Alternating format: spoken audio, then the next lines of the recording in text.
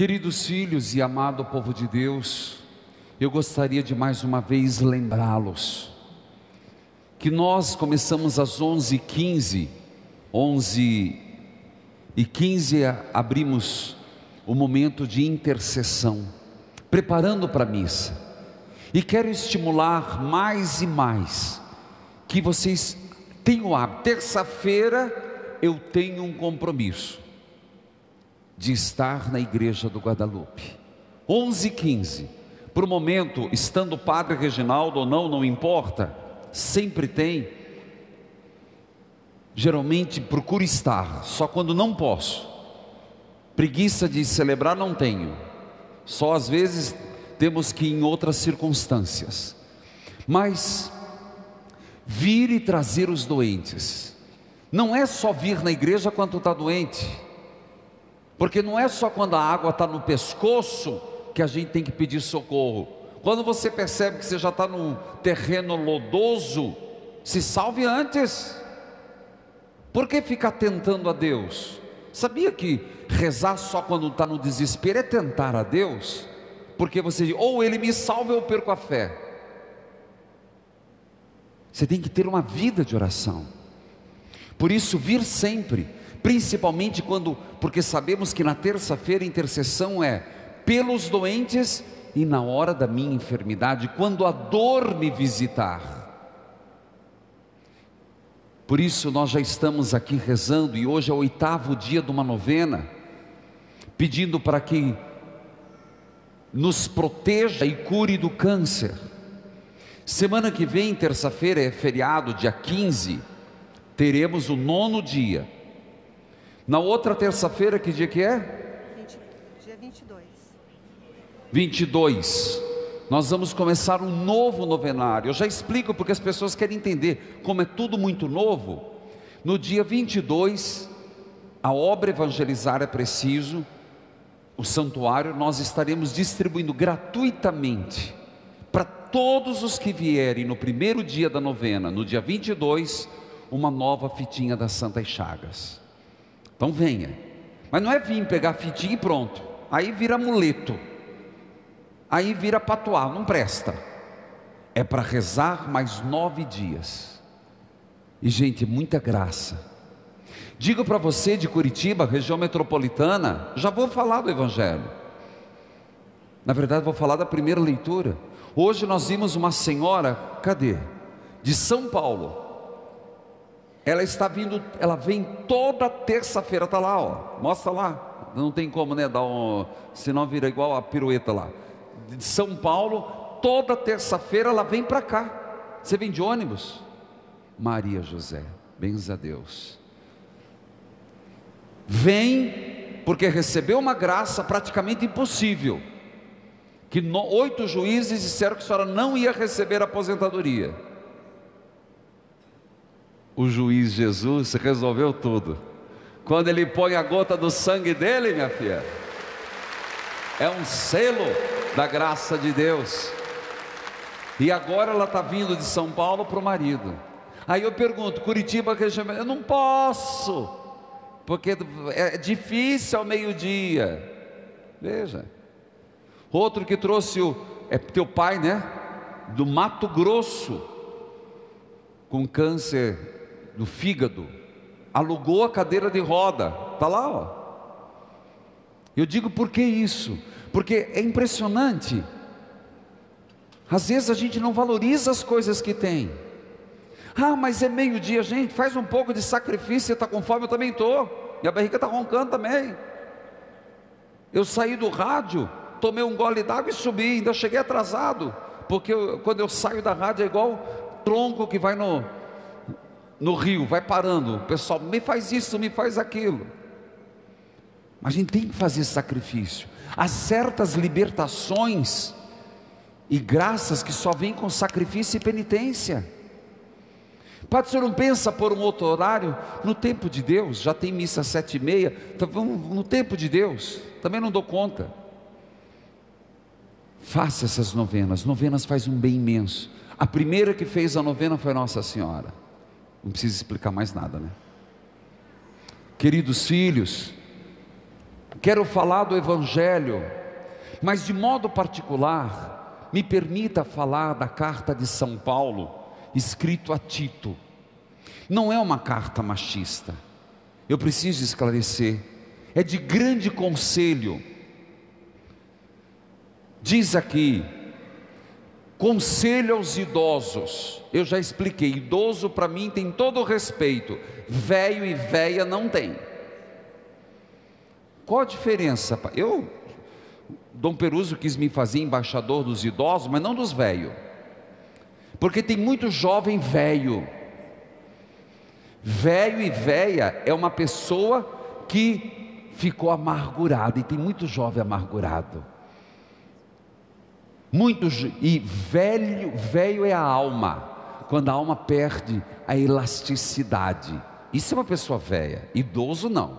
Idoso é bonito por dentro e por fora. Idoso é maravilhoso. Então, quando eu estou falando idosos, idosos, aqui tem velhos, é porque eu gosto de distinguir. Uma pessoa idosa é queridíssima. Agora, uma pessoa de alma velha, Ave Maria, sai de perto, rabugento. Não é verdade?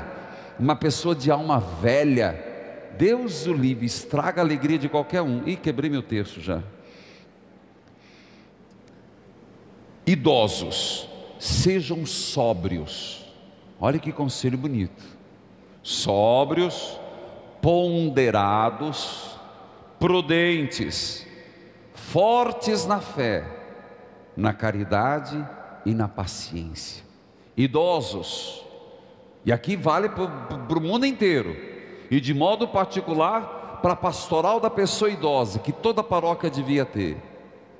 Sejam sóbrios, ponderados e prudentes, fortes na fé, na caridade e na paciência. Mulheres idosas, Conselho para as mulheres idosas, as viúvas que ninguém, não escolheram. A viuvez ninguém escolhe, é uma viuvez antecipada. E eu diria, não só elas, a todos nós, essa conduta vale para todos nós. Padre Reginaldo, Fulano, Beltrano, não sejam caluniadores nem escravos do vinho. Por isso que nós estamos numa libertação dos vícios. Porque não é o vício em si, é porque esse vício entrou. Qual foi a brecha que eu deixei? Qual é a compensação que eu estou tendo? Gente, e não é aqui, ó, a cabeça às vezes é boa, boa, cabeça boa. O problema está na vontade. Às vezes a gente sabe de tudo. Quem não sabe que beber faz mal, que fumar faz mal, sabe. O problema, o problema é que existe alguma coisa que está ali que você precisa preencher. Aí que entra, a gente reza para quê? Porque a gente não tem vergonha na cara. Não é só uma questão de vergonha na cara. Hoje você sabe que é uma questão de compensação, que você precisa de uma cura, que você que é preciso preencher aonde a brecha ficou. Por isso que a gente faz novena de libertação dos vícios. É fácil chegar para a pessoa e ser é falsa de força de vontade. Nem sempre. Nem sempre. É porque alguma coisa ainda precisa ser liberta. Não é só falta de vergonha na cara, força de vontade. Se encontra uma pessoa que usa cocaína, uma pessoa que usa drogas, não é só, você não pode jogar na cara, você não tem vergonha na cara, não é isso. Aí que entra a oração, é aí que entra a ajuda psicológica, é aí que entra a maturidade. Levar a pessoa na presença de Deus a perceber onde que está o buraco existencial. Não sejam caluniadoras, nem escravas do vinho, mestras do bem. Saibam ensinar os jovens, as jovens, amarem seus maridos. Aqui estão falando de ser mãe. Não veja isso como machismo. Vamos pensar um conselho bom para as mães.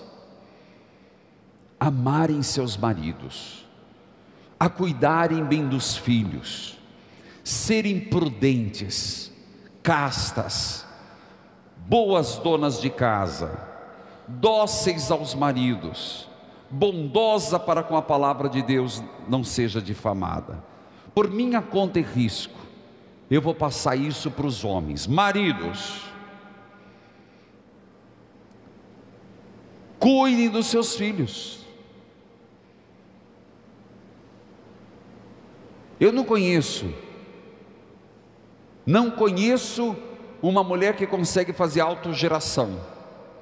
Botou filho no mundo, eu dizia domingo, recebi cada crítica, que eu do sermão de domingo às 18 horas, mas falei mesmo e falo. Tem conversa.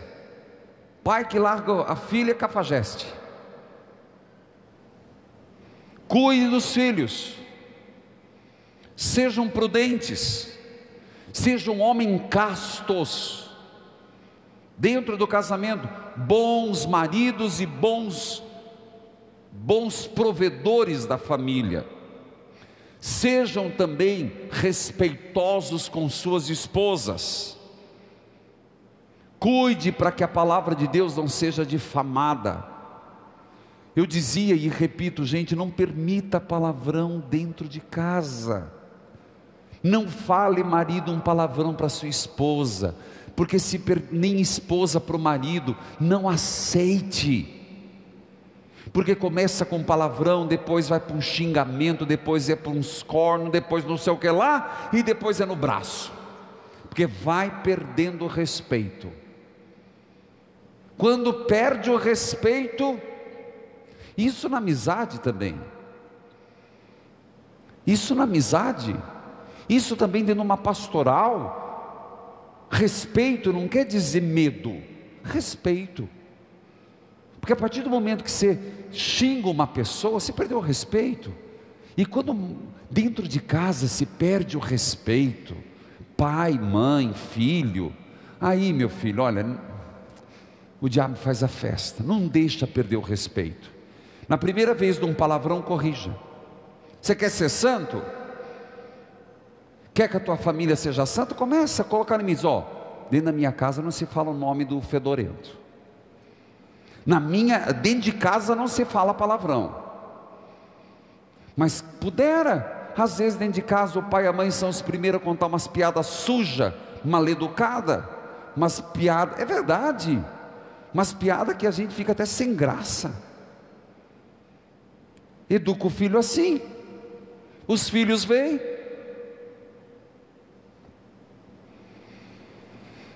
Mostre boas obras, tenha ponderação, cuidado com as palavras, sã e repreensível, para que não sejam confundidos. Meus irmãos, eu, se for continuar, falo tempão. Eu fiquei no, no, no texto hoje.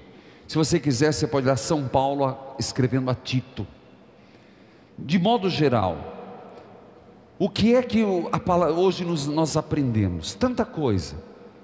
Mas como é possível, e quando eu falo de cura, cura física, precisamos sim. Ah, como precisamos, gente. Como precisamos no meio de uma enfermidade, você dizer para a pessoa: olha, conte, Jesus te ajuda, Deus está do teu lado. Como nós precisamos estar fortes para ajudar quem está frágil. Como nós precisamos estar abastecidos de Deus para não esmorecermos. Mas talvez a maior cura seria dentro de nossas casas.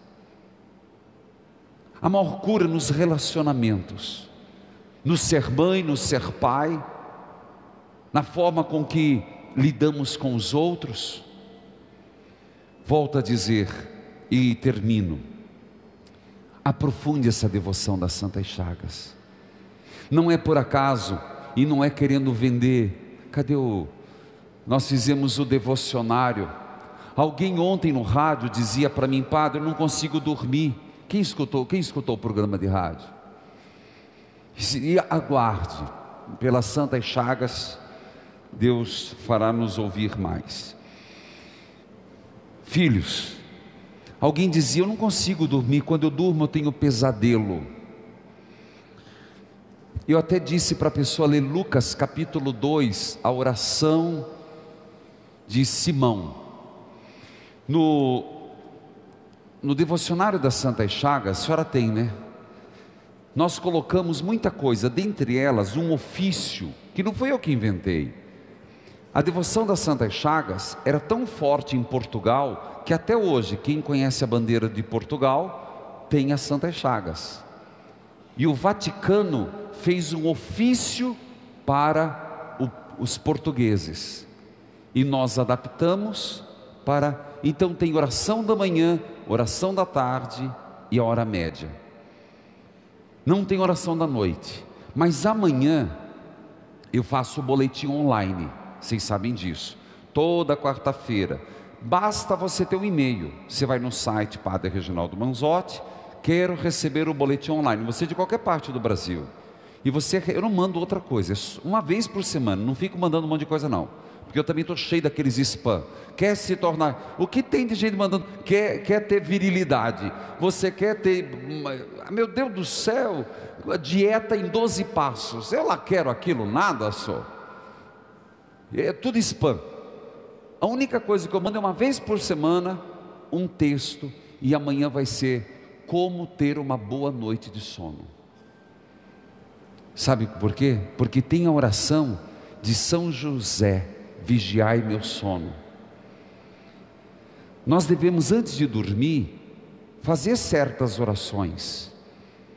Se a gente dorme muito angustiado, se você dorme muito voltado para as coisas ruins, teu, teu sono é perturbador. Por isso que eu vou mandar amanhã no boletim online as orações para fazer antes de dormir.